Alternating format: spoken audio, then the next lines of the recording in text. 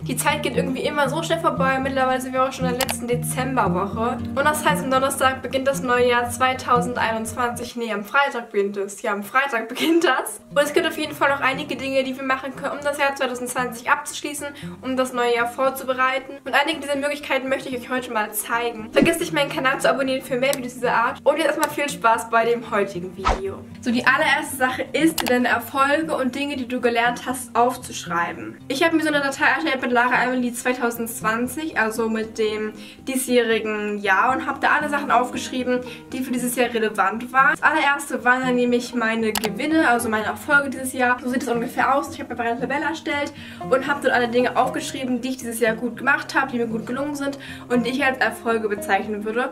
Habe dann daneben eine Spalte gemacht mit Bereiche in meinem Leben und habe diese ganzen Erfolge dann untergeordnet in zum Beispiel Kategorien wie Mental Health, Persönlichkeitsentwicklung, Schule, Beziehungen, Beziehungen, sozial und so weiter. Ich finde es immer sehr gut, da es natürlich auch immer schlechte Sachen im Jahr gibt und auch für mich gab es schlechte Sachen und auch ich habe nicht alles erreicht, was ich wollte und es sind blöde Sachen passiert, aber trotzdem ist es ja schön, nochmal positiv auf das Jahr zurückzublicken und zu gucken, was ist mir doch gut gelungen und was waren Erfolge in diesem Jahr, auch weil es viele negative Dinge gab. Um euch mal so ein paar Beispiele zu geben für zum Beispiel meine Erfolge, war es, dass ich dieses Jahr angefangen habe, mit dem Minimalismus mich auseinanderzusetzen. Dann habe ich äh, eine Eins in meiner Facharbeit bekommen, die ich dieses Jahr geschrieben habe. Ich habe 25 Bücher gelesen und mich mehr mit Lesen beschäftigt, was ich die letzten Jahre fast gar nicht gemacht habe. Also ich habe wirklich letztes Jahr vielleicht zwei Bücher oder so gelesen. Dann habe ich auch noch, dass ich zum Beispiel 10.000 Abonnenten bei YouTube erreicht habe. Ich habe einen Poetry Slam, habe dort auch den ersten Platz belegt und so weiter. Halt so Kleinigkeiten, die für mich cool war. Und die zweite Sache ist, wie gesagt, das Ganze auch nochmal mit Dingen, die man gelernt hat, zu machen. Und so habe ich mir ja schon wieder eine Tabelle erstellt und habe eigentlich genau das gleiche gemacht. Also einfach alle Dinge aufgeschrieben, die ich gelernt habe. Und ich habe mich da sehr lange hingesetzt und so ein Brainstorming gemacht. Und habe dann eine zweite Kategorie gemacht mit Bereichen in meinem Leben. Also wieder, was es ist. Also für mein Mindset, für meine mentale Gesundheit, für Beziehungen und so weiter. Und habe daneben noch eine Spalte gemacht mit den ganzen Quellen. Also woher ich das gelernt habe. Da ich es ziemlich spannend fand, zu gucken, wo ich was lerne und wo ich vielleicht mehr Zeit investieren sollte. Zum Beispiel habe ich jetzt gemerkt, dass ich halt einfach sehr viel aus Büchern gelernt habe. Dann halt viel von persönlichen Erfahrungen, Social Media tatsächlich auch ein bisschen, also YouTube, Social Media generell habe ich viel gelernt. Und jetzt mal ein paar Beispiele zum Thema, was ich gelernt habe. Und so habe ich jetzt zum Beispiel aufgeschrieben, dass ich gelernt habe, dass ich mich nicht immer um alles kümmern muss und nicht immer zu allen Dingen Ja sagen muss. Außerdem kann ich mich immer wieder neu entscheiden, wie ich die Welt betrachte und ich kann jeden Tag neu wählen, weil Gefühle immer Reaktionen sind, die ich wähle.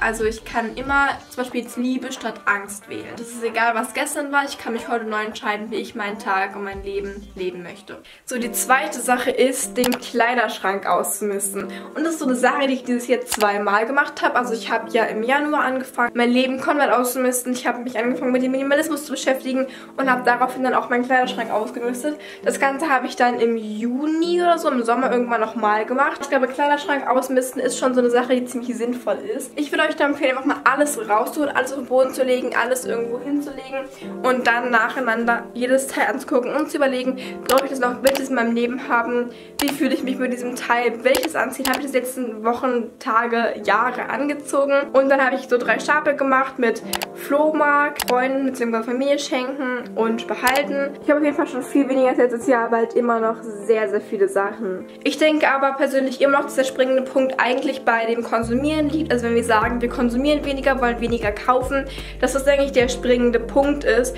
Aber tatsächlich sollte man vielleicht auch mal anfangen, den Kleiderschrank auszumisten und zu gucken, was kann ich vielleicht anderen Leuten geben, die es eher brauchen und wo können meine Teile ein neues, besseres Zuhause finden. Also hier hinter dieser schönen Abdeckung, die ich hier erstmal so provisorisch drauf gemacht habe, weil ich jetzt gar nicht mag, wenn man Chaos sieht, ist mein Bücherregal mit meinen ganzen Büchern. Und die nächste Sache, die ich euch empfehlen würde, ist eine Leseliste für nächstes Jahr zu erstellen. Also zu überlegen, welche Bücher möchte ich nächstes Jahr lesen.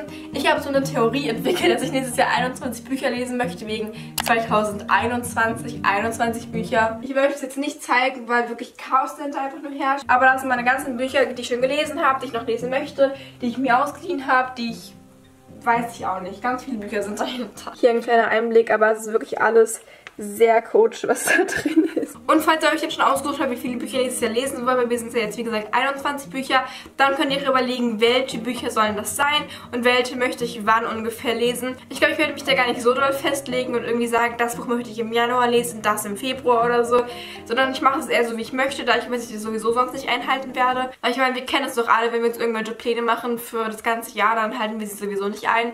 Und ich glaube, das ist auch mit dem Lesen. Aber ich habe mir schon so eine ungefähre Liste gemacht mit Büchern, die ich lesen möchte. Oder auch die ich schon zu Hause, also Bücher, die auf meinem Sub liegen, Stapel ungelesener Bücher. Aber vielleicht kennt ihr das auch, wenn ihr euch vornehmt, eine bestimmte Anzahl von Büchern zu lesen, dass ihr das dann nicht einhaltet. Und ich kenne es auch. Und ich finde es einfach viel besser, wenn man sagt, ich möchte jeden Tag vielleicht 10 Minuten lesen oder 10 Seiten lesen, weil das ein realistisches Ziel ist und was du auch wirklich durchführen kannst. Also das ist ein Ziel, was du machen kannst. Und wenn du dir sagst, ich möchte diesen Monat 5 Bücher lesen, ist es so eine Sache, die irgendwie noch ziemlich weit weg ist und nicht so realitätsnah ist. Wenn du aber sagst, ich möchte jeden Tag 10 Minuten lesen, ist es viel durchführmachbarer, durchführbarer, machbarer. Trotzdem finde ich es aber ziemlich schön, sich so eine ungefähre Richtlinie zu machen. Mir sind jetzt, wie gesagt, 21 Bücher für nächstes Jahr. Und ich denke mal, dass ich das auf jeden Fall schaffe, weil da ich dieses Jahr 25 Bücher gelesen habe und ich dieses Jahr erst angefangen habe mit Lesen, wenn man das so sagen kann. Machen wir aber jetzt mal weiter mit dem nächsten Punkt. Und der nächste Punkt ist auch schon hier rechts an meiner Wand. Und zwar ist das, ein Vision Board zu erstellen. Falls du dich jetzt fragst, was ist ein Vision Board, kommt hier die Antwort. Ein Vision Board ist ein Board, an das du deine Vision klebst, die der Name schon irgendwie sagt. Das heißt, du hast ein Board, also bei mir ist jetzt ein Bettlaken hier mit deinen Zielen, mit Inspiration, mit allen Dingen, die dich irgendwie motivieren und inspirieren. Einige Leute machen ein Vision Board mit genau diesen Dingen, die sie auch erreichen wollen. Beispielsweise, wenn sie jetzt ein bestimmtes Auto haben wollen, kleben sie wirklich ein Bild von diesem Auto an das Vision Board. Bei mir ist es eher so eine Inspiration. Also ich habe zum Beispiel Sprüche hier rangehangen. By the way, das Vision Board ist jetzt noch nicht fertig. Es ist tatsächlich mein letztes Vision Board, also von diesem Jahr noch. Aber ich habe das ein bisschen abgemacht, da ich heute anfange, mein neues Vision Board zu machen.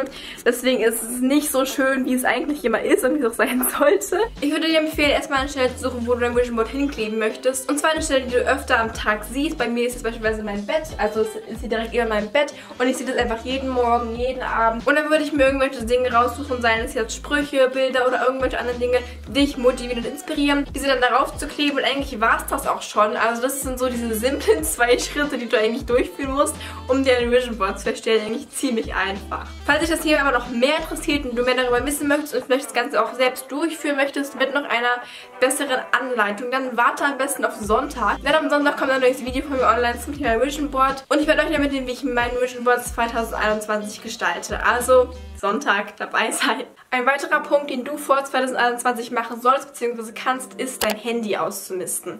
Ich glaube, das Handy ist eine Sache, das ziemlich einfach zumüllt. Seien es jetzt Bilder, Videos oder auch Apps oder vielleicht auch Leute, die man folgt auf Social Media. Die erste Sache, die du zum Beispiel machen könntest, ist deine ganzen Fotos und Videos auszumisten in deiner Galerie. Du könntest gucken, was brauche ich noch, was brauche ich nicht mehr, was kann ich löschen, was kann ich vielleicht in Ordner einordnen oder was kann ich auf eine andere Festplatte exportieren, damit es aber nochmal gesichert ist, falls dir eine Sache wirklich wichtig ist. Dann könntest du anfangen, Apps zu löschen, die du zum Beispiel nicht mehr brauchst. Und was ich gerade schon gesagt habe, ist vielleicht auch Leuten bei Social Media zu folgen. Ich glaube, das ist halt ein ziemlich wichtiger Punkt, den wir oft vergessen und oft vernachlässigen.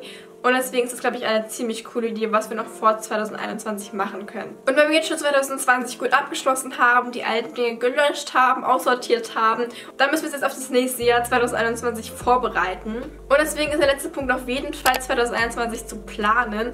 Und falls du noch Inspiration und Motivation brauchst, kannst du gerne mal bei diesem Video vorbeigucken. Denn da habe ich dir einige Tipps gegeben, wie ich das gemacht habe. Und habe euch da so einen sieben- oder achtschrittigen Guide gegeben, wie man das Ganze machen kann. Also schaut da gerne vorbei, falls dich das interessiert. Ansonsten wünsche ich dir noch einen wunderschönen Tag und hoffe, dass wir uns dann am Sonntag bei meinem Vision Board Video wiedersehen. Habt noch einen schönen Tag. Bis dann. Tschüss.